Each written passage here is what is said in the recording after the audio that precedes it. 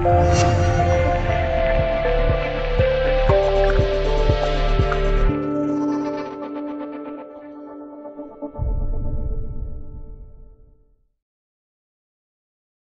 俄罗斯卫星网七月二十七日报道，俄罗斯克雷洛夫国家研究中心负责人瓦列里普洛维金日前表示，俄罗斯海军未来至少要建造四艘航空母舰，部署在北方舰队和太平洋舰队。俄海军坦诚，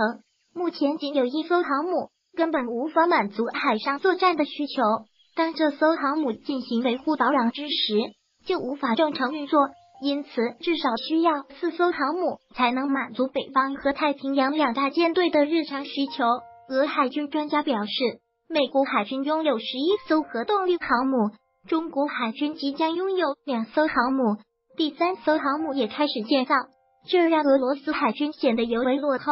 只有一艘老化的航母，使得俄海军陷入僵局，根本无法在海上执行长时间的任务。因此，俄海军需要建造新型航母，排水量在六万吨到十万吨之间。但目前的问题是，俄缺少资金和相应的造船能力，必须争取国外帮助。虽然有着打造多艘航母的雄心壮志，但是俄罗斯也非常清楚认识到这个问题，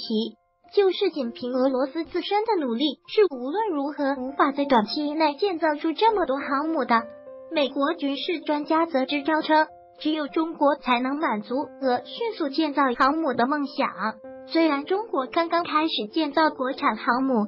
但是已经具备了完整的航母研发建造能力，而且中方有着足够的大型造船厂去打造航母，而且加强俄海军实力对中国也有好处，即便是赔钱建造也有很大好处。但是军事专家表示。虽然中国有着大量的造船厂，都有建造航母的潜力，但是这并非是一件易事。建造航母需要大量专业的设备，更重要的是还需要专业的技术和施工人才，这些都不是普通船厂能满足的。而且俄军方目前是否能拿出足够的资金也是未知数。按照俄罗斯的国防发展思路，重点是研制核武器，具体到海军领域。就是新型战略核潜艇、航母无法获得优先投资，而没有足够资金的话，中方也无法为其建造航母。赞赏，令人赞赏过。